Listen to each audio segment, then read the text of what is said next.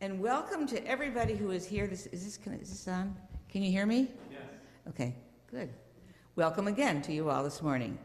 Are there any announcements before we begin, before I introduce Mark? Jim? I think I can be heard. Um, this afternoon, Mel Gertz and Suzanne Lupian will be hosting a reading at four o'clock. Um, and it's all original pieces. People won't be reading other people's work. They'll be reading poems and prose of their own. And everyone's welcome. Here, oh, important. Here, Right here, right here, right in this very spot. Four PM again? four P M. Four o'clock. And we're, it might be dark, but come in. Does daylight savings time change today? It doesn't change today, no. Yeah. Then you had an announcement, I think. I did. Uh, I'm not going to be here next weekend. I'm going to be at a college visit. So we wish you good luck. Thank you. Okay, great. Thanks for letting us know. I do have one announcement about Lord's Acre, which is coming up. It will be an online auction again. It is well underway in terms of gathering stuff. And we have, as always, a lot of good stuff and a lot of good baked stuff and other stuff. Um, If anyone would like to donate something, please contact either me or Danette or June Salsa. Um, That will be starting, the actual bidding will start in sort of mid-ish, late-ish November, and it'll run for a week and a half, so we'll let you know more about that. Any other announcements? Okay. Then I would like, it is my great pleasure to welcome Mark Kudalowski, another Algebrook Road neighbor. We've had a lot of Algebrook Road people during these last few months, and you're another one. Uh, Mark comes to us as a shepherd, a sojourner, a seeker, a lot of S's, and a scholar, the fourth S. Um, and he is going to talk to us today about spiritual cosmology and the rediscovery of heaven. And he is, I think, well suited to talk to us about that. He's done a lot of good thinking about interesting stuff. So, Mark, please come up and join us, and we'll, we will light the peace candle.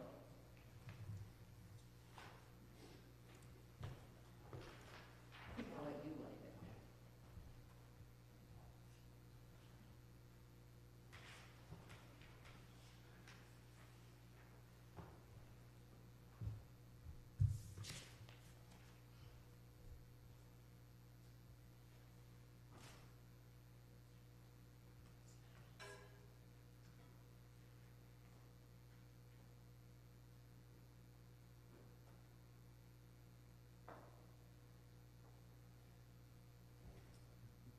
It's a challenge. Peace is always a challenge.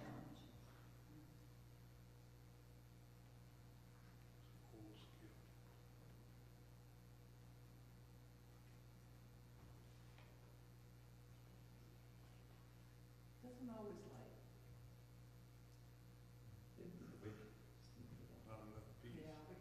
Should we just pretend? Here we go. Yay. You got it, okay. Peace is worth fighting for. That's right. And it's worth patience, right? Patience. In Christ was life, and the life was the light of the world. The light shines in the darkness, and the darkness does not overcome it. Let us pray for peace and the things that make for peace as we light the peace candle. And our first hymn is in the Red Book, 544, like the murmur of a dove's song.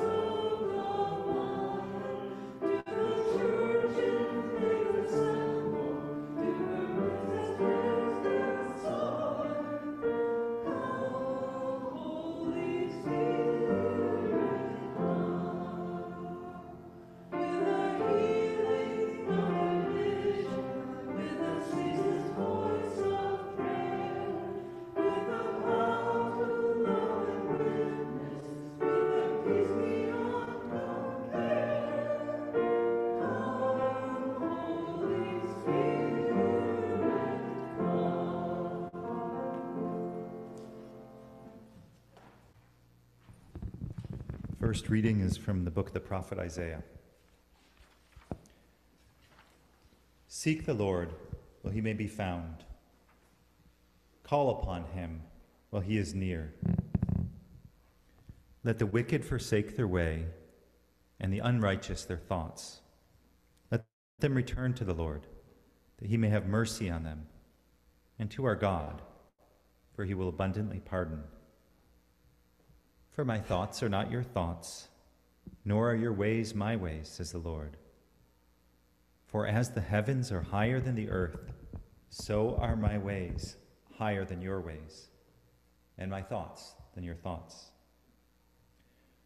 For as the rain and the snow come down from heaven, and do not return there until they have watered the earth, making it bring forth and sprout, giving seed to the sower and bread to the eater, so shall my word be that goes out from my mouth. It shall not return to me empty, but it shall accomplish that which I propose, and succeed in the thing for which I sent it. For you shall go out in joy, and be led back in peace. The mountains and the hills before you shall burst into song, and all the trees of the field shall clap their hands. This is the word of the Lord.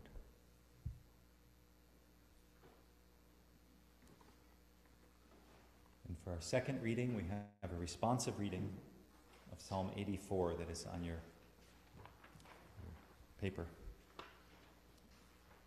And so I'll read in the bold, and then I invite uh, the congregation to read in the lighter print. How lovely is your dwelling place, Lord Almighty.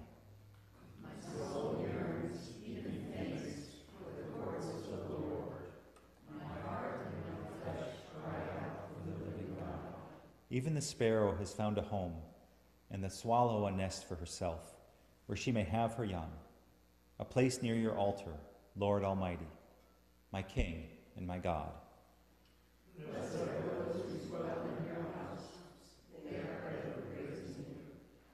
Blessed are those whose strength is in you, whose hearts are set on pilgrimage.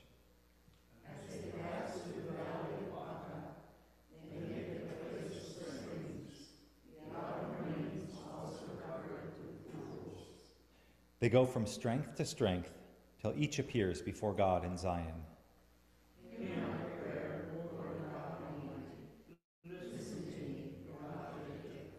Look on our shield, O God. Look with favor on your anointed one.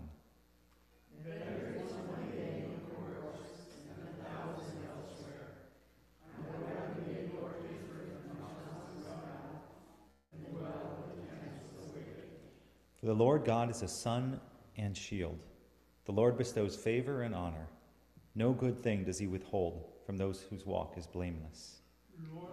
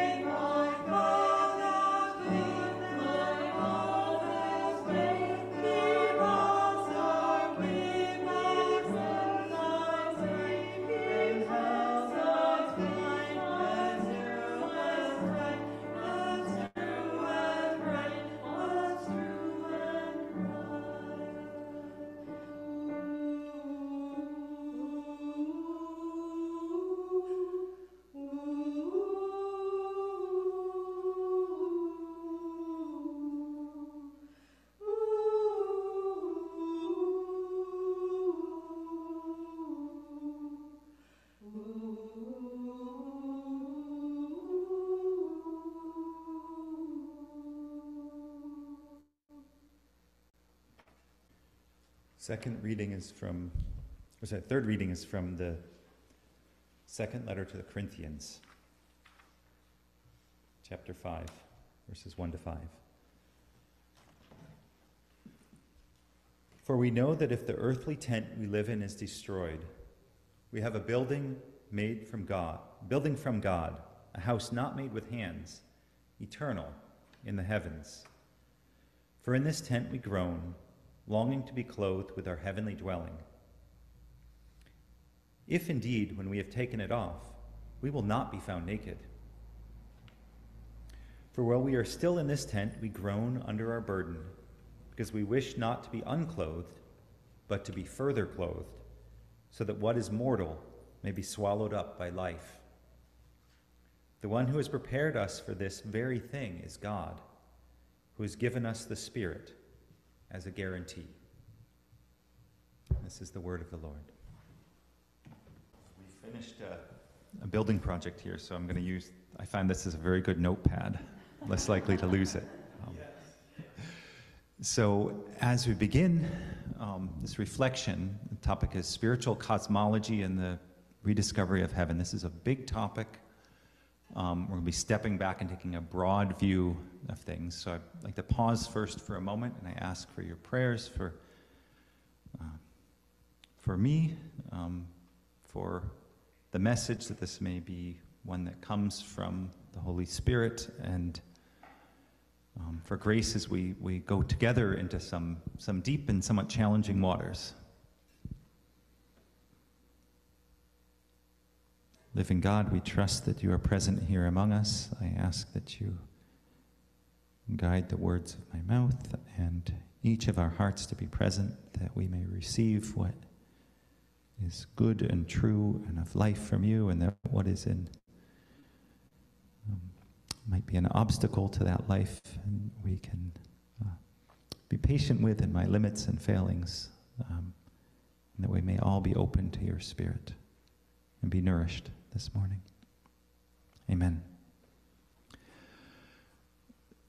So, I'm going to begin with some um, statements that are going to sound quite discouraging. And I hope as we go over the arc of this talk, it's, it's all in the service of life. Uh, but to begin with, um, I'm convinced, and maybe you um, are too, having looking around at the, at the news and sort of the signs of the time, that we are in a period of crisis. Um, and I would say that the, the ancient, um, ancient thinkers, um, certainly within the Christian tradition, would have said that we are in apocalyptic times, which doesn't mean just a one final end of the world, but the, the Greek word means a time of revealing, the unveiling, when, when patterns and often patterns of, of um, imbalance and injustice are, can suddenly be seen for what they are. And so I'd like to, to mention a few of those, and then we're going to try to poke a little at, at the source here. Um, so, first, um, in this time of decline and destabilization, we're all, I think, many of us are very aware of uh, destruction of the natural environment, of the, the limits of the Earth's resources, of issues with uh, climate destabilization, um, with uh, overproduction of, of plastics that are both, you know, clogging the oceans and increasingly find out clogging our own tissues. Um, we seem to have this issue of, of seeking the infinite in the finite and, and wanting to consume more and more even as our, the, the world is being devoured by that. Um, we have uh, decline and destruction of, of bonds of relationship and trust first, and this is over a course of several centuries, but a decline in the harmony and the sort of interdependence of family in the broader sense of, of clan down to the nuclear family, and then that itself beginning to, to um, fracture more and more. Um, decline in, in, community coherence. Um, every place where human beings are different from one another in the last decade or, or more, um, an increase in discord and difficulty being present in love across differences. That includes political differences, racial differences, um, differences in regards to both sex and sexuality and gender, um, you name it. Um, in an area where we are different from one another, it seems to be getting harder and harder for people to come together, at least in the public spheres. Um, it's not true of everyone, of course. Um, in our country, there, prior to COVID, the statistics said that one in five adults were um, either diagnosed with or were, would have been diagnosable if they had treatment or um, with a mental illness. That number raised to two in five after COVID, in the years after COVID with the isolation. Here in Vermont, recent surveys have shown um, that among uh, young adults, I think the age range that they surveyed was, was around you know, mid-teens into college age. Um, 18% had made a suicide plan in the last 12 months. 18%. Um, and statistics I've seen from Dartmouth and the mental health department is um, somewhere around that range, actually a little bit higher. Um, heavy, heavy things.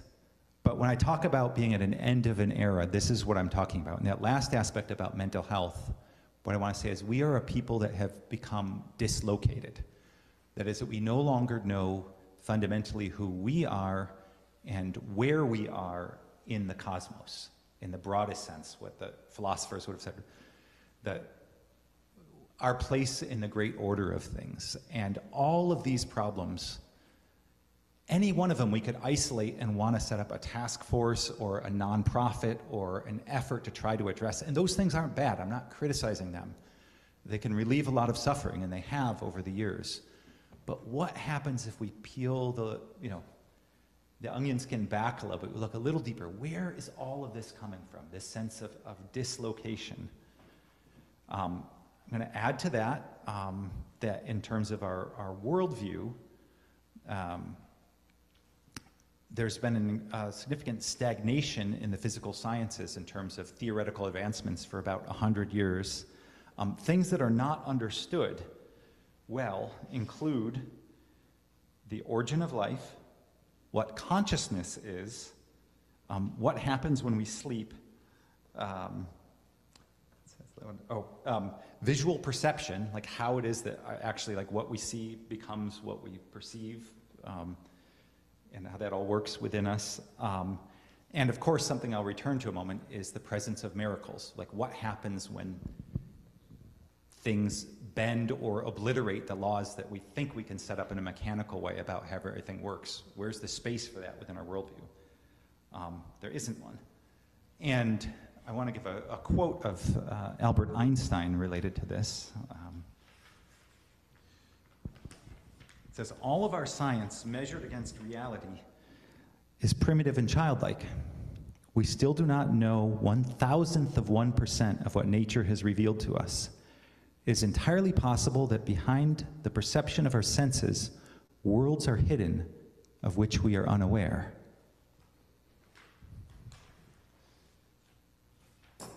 You know, some crazy man with wild hair who looks like he might be homeless, right? Crazy Al. No, Albert Einstein, one of the, you know, the, the foundational figures in the 20th century in terms of understanding the nature of reality. We do not understand less than one thousandth of 1%. And yet, in our cultural push over the last several years, there's been an increasing uh, inability to actually look broadly with, you know, kind of angry yells from a place of fear, you know, to trust the science. Instead of saying, let's use this tool to explore and try and understand the world around us, knowing that what we understand may be incomplete, useful, but incomplete, and to continue to open to discover. So, this is what I talk about. I talk about a civilization in crisis, a worldview in crisis, and why?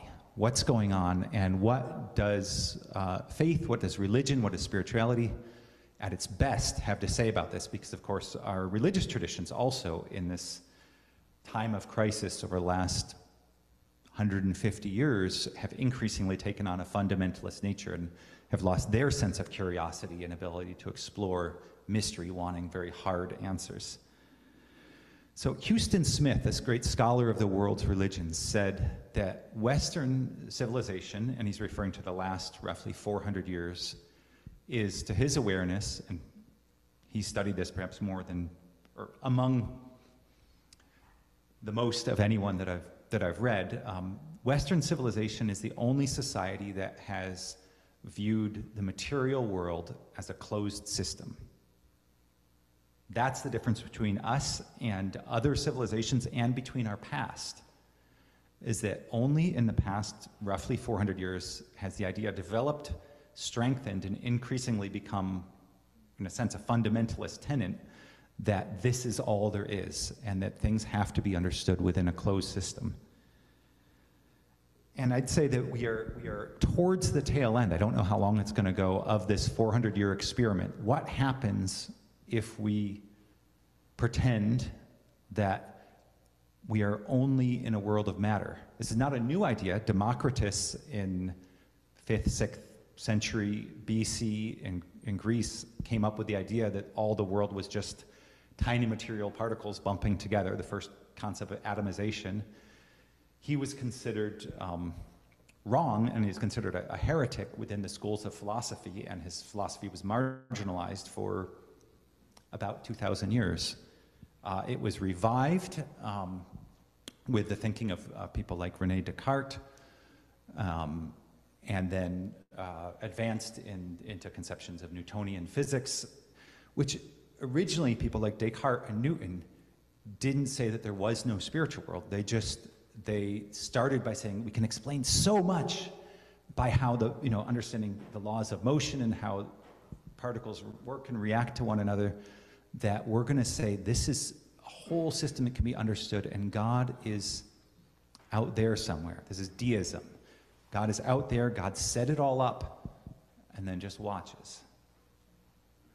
Um, and of course, it wasn't that long you know, within a century of working under that system that people that were just looking at the physical world thought, well, maybe this is all there is. Maybe God isn't even necessary to set it up. So we go from the idea of the clockwork universe, again, you know, the world being made in the image of our machines that we were developing at the time, um, with a clockmaker God to saying the clockmaker is not necessary, it's just the clockwork. And of course, in more modern times, as we spend more time building and developing computers, we shift from saying it's a clockwork universe to saying, you know, human beings are just really advanced computers instead of saying we're really advanced uh, automatons, which was the earlier notion. So we continue to look at ourselves in the world in the image of our technology. Now you can find articles saying, oh, is the, is the known world really just a computer simulation? You know, is it all just a metaverse? um, this is serious questions in, in philosophy right now. So, in all of this, um, I'm reminded of that famous quote by Nietzsche, who said, God is dead and we have killed him. And I want to hold that quote next to a quote from, uh, from Paul in his letter to the Galatians, where he said, God is not mocked, for whatever we reap, we sow. So, we have sowed a world where we imagine that God is dead. And what that leaves us with, I'm going to hop traditions right now over to Buddhism because I think it's a helpful framework for this piece. We are left with a world of pure karma.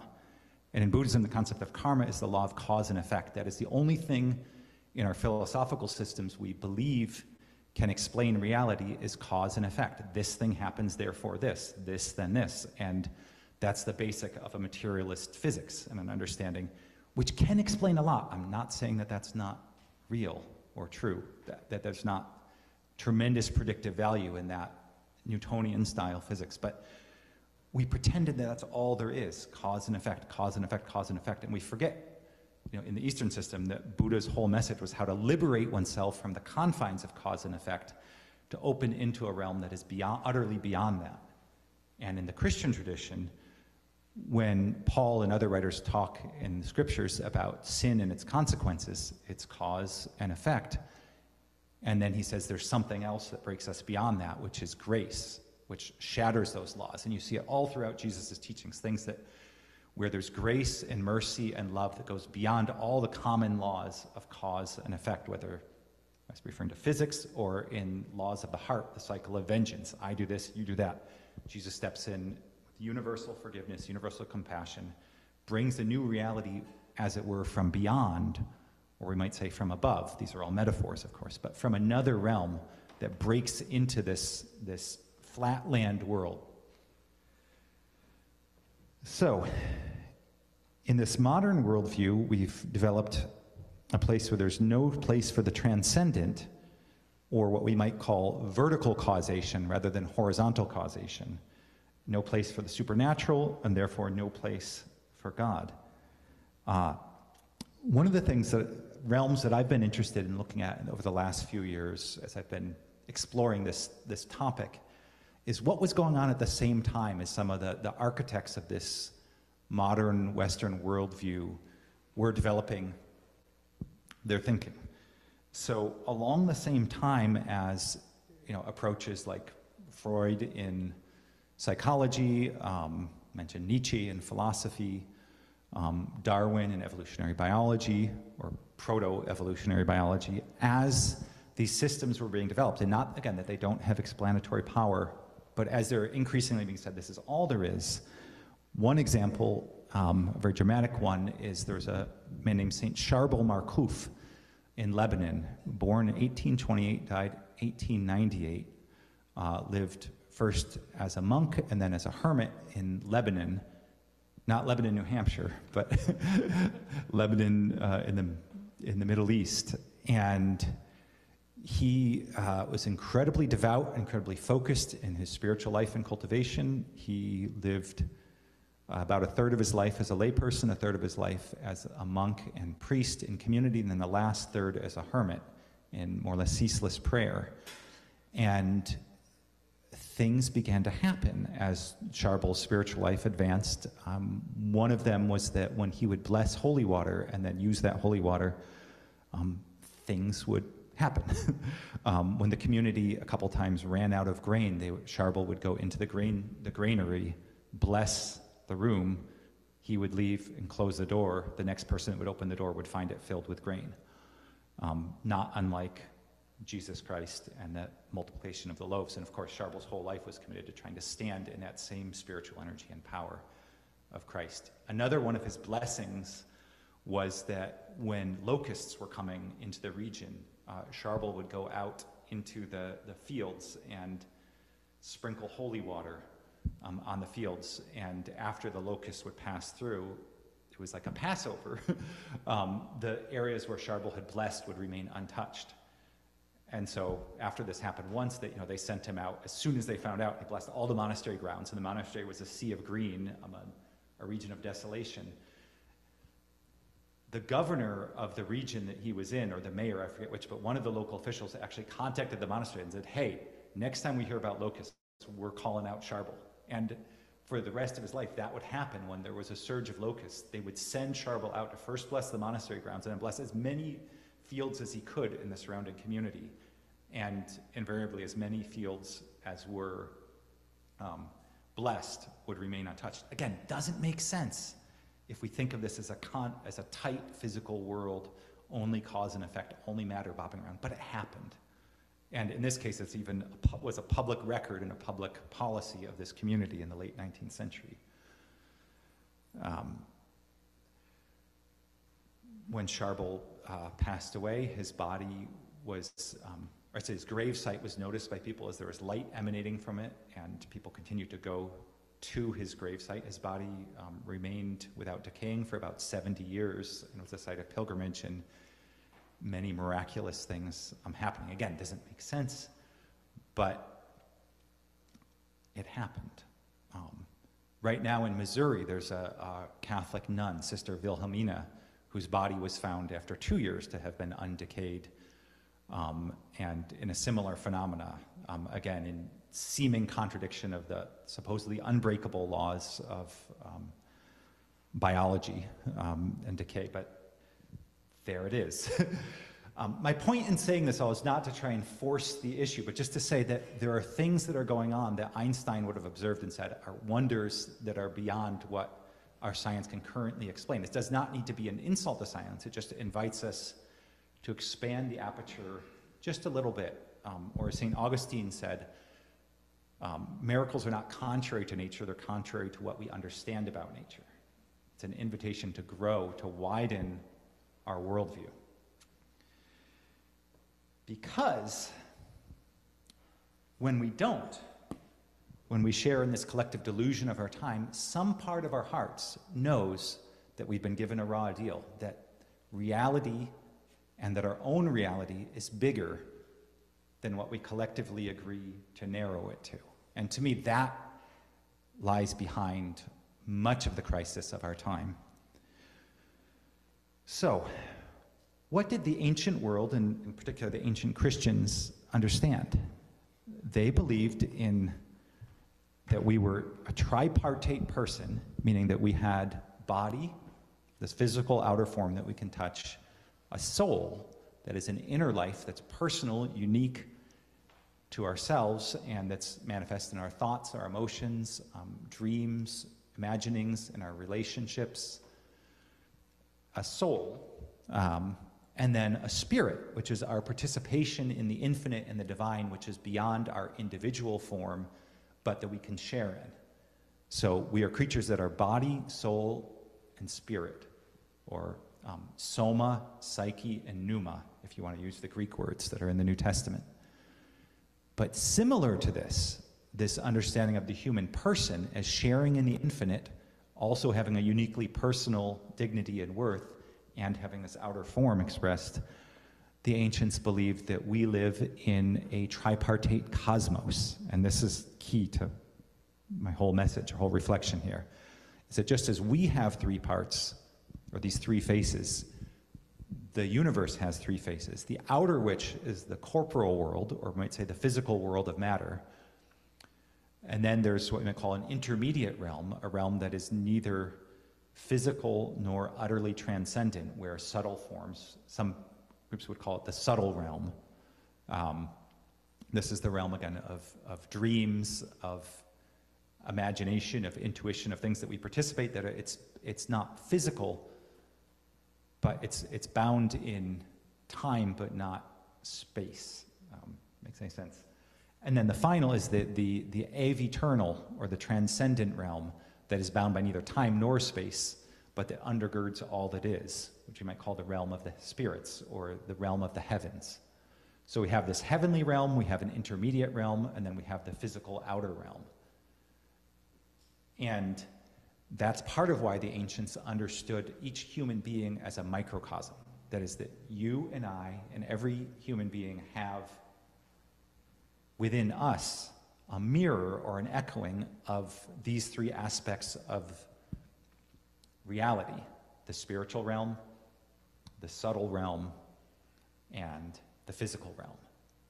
And so human wholeness and human fulfillment comes from participating in each aspect of reality and having a relationship with each aspect of reality. That's where we find our rest and our wholeness. If we go and decapitate the cosmos, so to speak, in our mind, not in reality, we can't do that. but if we pretend that the spiritual realm doesn't exist, then we're going to feel like something's missing. Or as Augustine, St. Augustine again would say, our hearts are restless. We are made for you, O Lord, and our hearts remain ever restless until they rest in you. We have the eternal in us. We long for a connection with that eternal presence. And then finally, of course, that's mirrored in the Christian ancient understanding of the Holy Trinity, is that God has expression or life in the utterly transcendent realm. God is creator, um, or God the Father, and the, and the, the Trinitarian understanding, which isn't about the maleness, but it's about the, the being the source of all. Um, God the Son, or the Word, um, that is God present in the immanent, God entering into physical form, into matter, um, expressed in matter, and then God the Spirit, who moves between the two, who interfaces between that which is most immanent and which is most transcendent in God, so that God is met in each of these three realms if we are open to encountering the presence of God. So we have a tripartite human being in a tripartite or cosmos in a Trinitarian deity, all woven together. That is the world that our culture came from. Um, and I'm not saying the medieval world, for example, was perfect, but people knew who they were and where they were and where they stood. Um, something that we have lost. And this, by the way, this isn't just um, in. This is not just something that's present in the um, in the Christian world. Uh, the ancient Hindu cosmology had a very similar sense of a triple world, of a material world, um, a subtle world, and a spiritual world. I, forgive me, I forget the, the, the words in Sanskrit, but you can you can find that in Hindu philosophy. You can find it in the Taoist understanding of the human person having three essences: Jing, or the physical blood and um, physical energy, chi, or, or kind of bioenergy, or kind of more subtle energy, and then shen, or spirit. Um, so many cultures came, came upon a similar observation of the nature of the human person, nature of the human world. Um, so, um, let's look at the Christian story in this context. Because the Christian story begins not with a narrative of continuous progress and ascent, um, as the modern worldview has, has, would have us say that what humans are in the process of, but of course with a story of being created in goodness and perfection, and then the fall. Um, so before I get to my poem, um, in the fall, what we understand in the, the Christian story is that what happened was that there was a rupture, a rupture in human consciousness. I mentioned body, soul, and spirit, but a rupture between soul and spirit. And so what happened is we lost the easy, free access to the spirit realm, and instead, soul, or our, we might say, our consciousness, our individual personality, sense of self as an individual, turned in upon itself, turned away from the transcendent into being, we might say, um, excessively drawn to attachment to things that are in the outer world of form. Um, what the Buddhists would call attachment and aversion. Uh, what the Christians would call idolatry, that is, that is, and the Jewish, Jewish tradition call idolatry, that is seeking, we turn to seek ultimate fulfillment in things that are finite. So in matter, in objects, in physical sensations, in relationships, in inner experiences. Anything that is finite that we think we're going to get that ultimate sense of, ah, of rest and peace in, that's what I'm talking about. That's the understanding the fall is we turned and now we're excessively grasping here, here, here, and there. And that's been a problem for human beings for as long as we know, as long as we can imagine that that human condition has always been there. The bigger trick or the bigger challenge of our cosmology that's been collapsed over the last several centuries is that we believed that we'd finally gotten powerful enough that we could really do it. We could really get that lasting fulfillment in the material world by just acquiring more things, consuming more, or, you know, hence the massive cons consumption, which is destroying the planet. Um, we thought maybe if we just design the perfect social system, if we make it perfectly based on logic, which they tried to do in the French Revolution, or based on perfect social equality, which they tried to do in the communist revolutions, it always never quite worked, did it? There was always some out, there's some group that didn't quite fit in enough that maybe we'd get our utopia if we just eliminated them. And each of these movements ended up in the, the murder of millions of people. Didn't quite work was not based on an accurate understanding of the human person or of our problems. The problem is not out there. The language of faith, and actually all authentic spirituality says the problem is here. If we don't address the rupture within the human heart in our relationship with the eternal, we're not going to be able to find it by trying to fix things out there. Again, doesn't mean that we can't do some good out there in specific locales, but as a whole, we're not going to create the perfect system until we enter into the realm of perfection. And at that point, we, don't even need to create or manipulate the system. Uh, we enter into wholeness.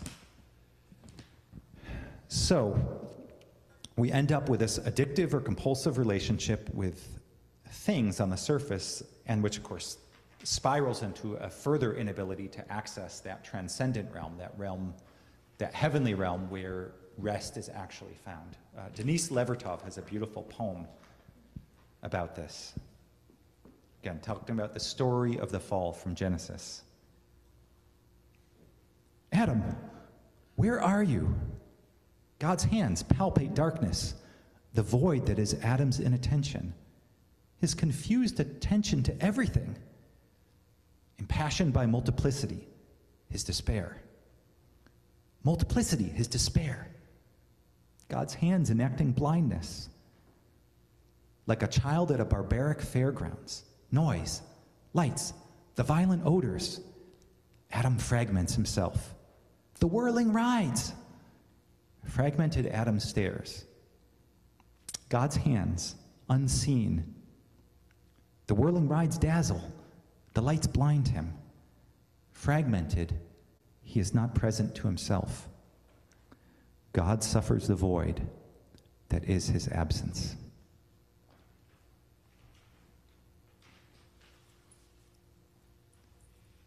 Poetic, imaginal way of understanding this rupture. So, in response to this, the story, the central story of the Christian faith of salvation, is a restoration of unity between body and soul and spirit. That is, that which has been rendered returning and becoming whole. And so, this healing, this turning back, is the central message of Jesus' teaching. It's the Greek word metanoia, to, to open the mind and heart to that which is beyond our um, the surface of things. Um, I translate the word metanoia as transform the eyes of your heart. Jesus is teaching, transform the eyes of your heart, for the realm of heaven is at hand, here and now. Now is the appropriate time. He's saying, wake up, it's already here. And so the important thing about understanding metanoia in Jesus' teaching, that this happiness, rest, peace, fulfillment, final human contentment comes in heaven, and heaven is not a place, it's not something in the realm of form, and it's not in the future. It's not bound in time to a specific location in time. It is a coat, and it's not even a state of consciousness. You hear people sometimes talk about that. Oh, heaven is a state of mind.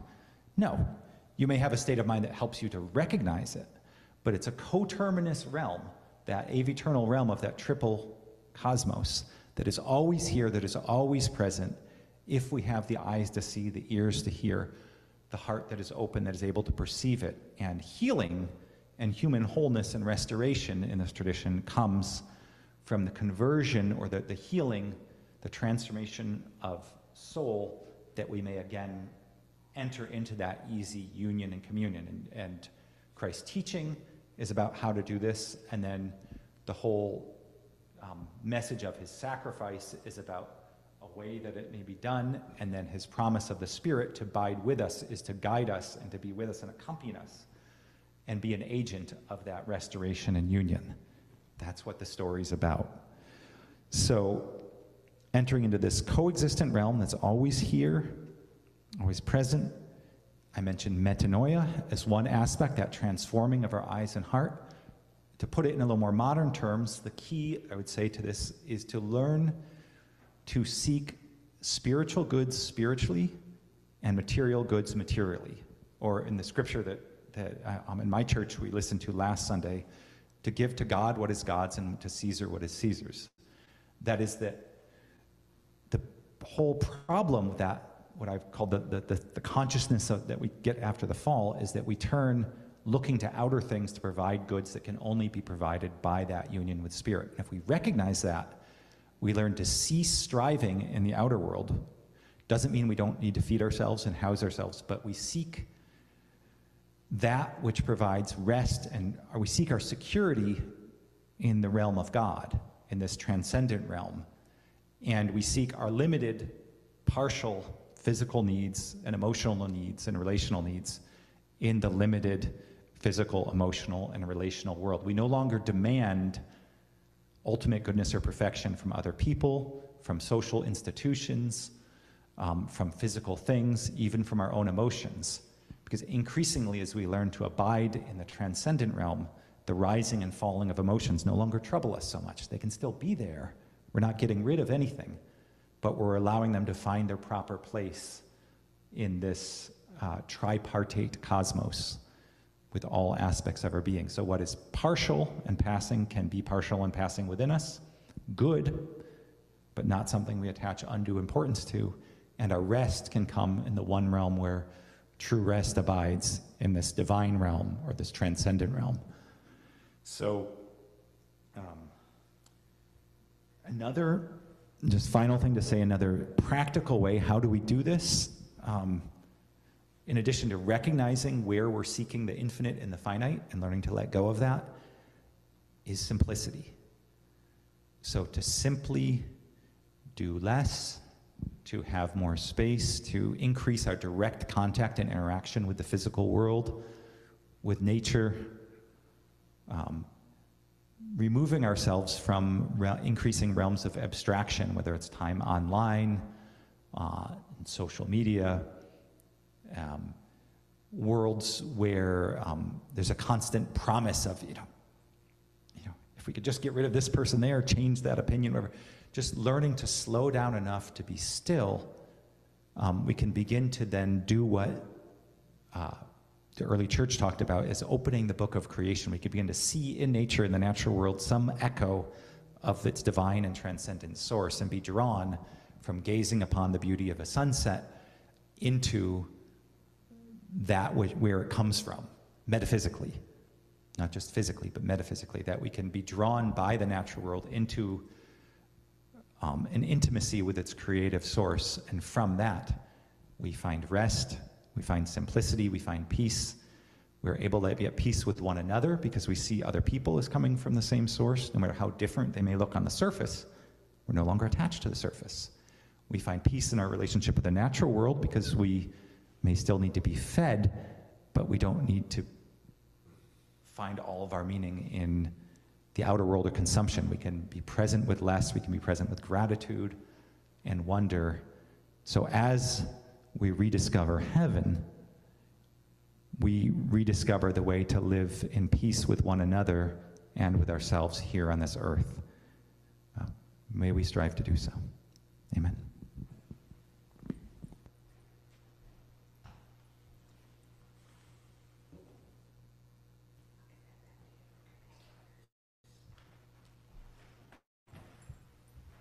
Thank you, Mark. Um, we are now going to sing together in the again in the red hymnal number 408, "The Gift of Love."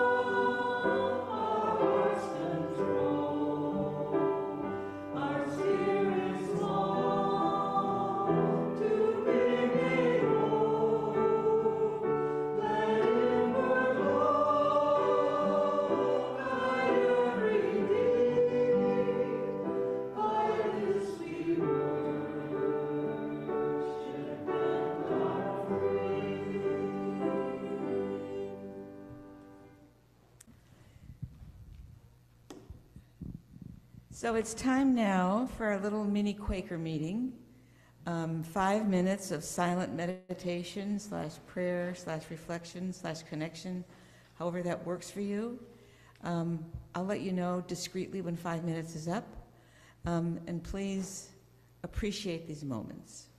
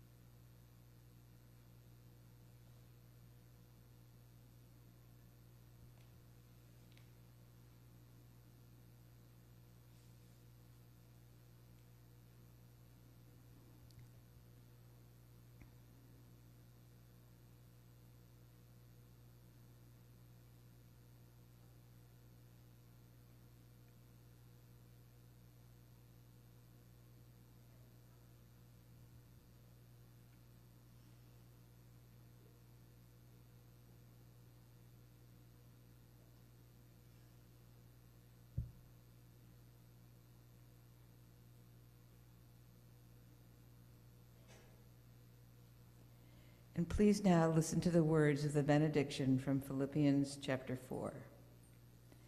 Finally, beloved, whatever is true, whatever is honorable, whatever is just, whatever is pure, whatever is pleasing, whatever is commendable, if there is any excellence and if there is anything worthy of praise, think about these things.